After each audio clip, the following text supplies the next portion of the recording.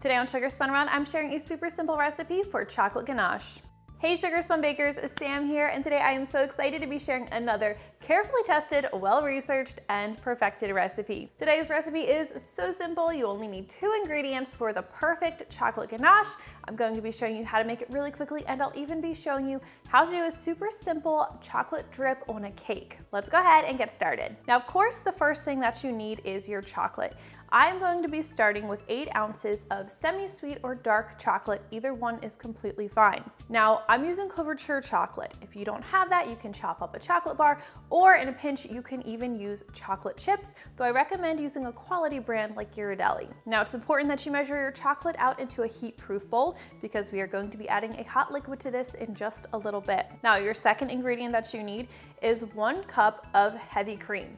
Instead of heavy cream, you could also substitute double cream or heavy whipping cream. Now, my chocolate ganache is made with a one to one ratio, which means that you use equal amounts of cream and chocolate. You can scale this recipe up or scale it down as you'd like. It works perfectly fine that way. Now here I have a small saucepan on my stovetop. I'm just going to pour my cream into the saucepan and all we're going to do is bring that to a simmer. Once your cream is simmering, remove it from the heat and just drizzle it over your chocolate.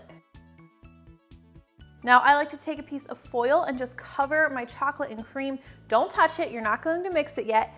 We're just going to let it sit undisturbed for five minutes. Once five minutes has passed, you can uncover your chocolate and we're going to gently whisk together the chocolate and the cream until it's completely combined and smooth and glossy. Now first, you might panic because it looks like everything's separated, it looks like it's not going to work, but just gently whisk the two ingredients together. And I, if you notice, I kind of just start in the center and I kind of just stay in the center and just gently whisk. And after about a minute or so, you start to have a nice smooth chocolate. And look at that. I do like to use a spatula to scrape the sides and bottom just in case there's any cream or unmelted chocolate hiding there. All right, now this is really all there is to making ganache. You're done at this point. You can do whatever you would like with it. However, I know many people are making ganache to do a drip on a cake, so I'm going to show you really quickly how to do that. Now, I always like to use a squeeze bottle, so I am just going to pour my chocolate into my squeeze bottle, and I'm probably gonna make a mess, and I did, no surprise there. But we don't need all of our ganache, so I just filled my bottle about halfway or so. Now you don't want to use your ganache when it's too hot or it can end up melting whatever you're putting it on. So you want to let it cool a little bit first. Once it's cooled, I have this beautiful peanut butter frosting frosted cake, and I am just going to show you really quickly how to do the drip topping on that. Now, ideally, you will want the frosting to be pretty cool, so I like to chill my cake and chill the frosting for about 10 to 15 minutes before I try to do the drip. You just wanna hold your squeeze bottle perpendicular, do one drop. Now, the first drop should always be just a test. You wanna see how quickly it runs down the cake. If it's running down really fast, your ganache probably needs to firm up a little bit more. If it stops before the bottom and you're happy with how the drip looks, then you'll just wanna keep going. And we'll just go all the way around.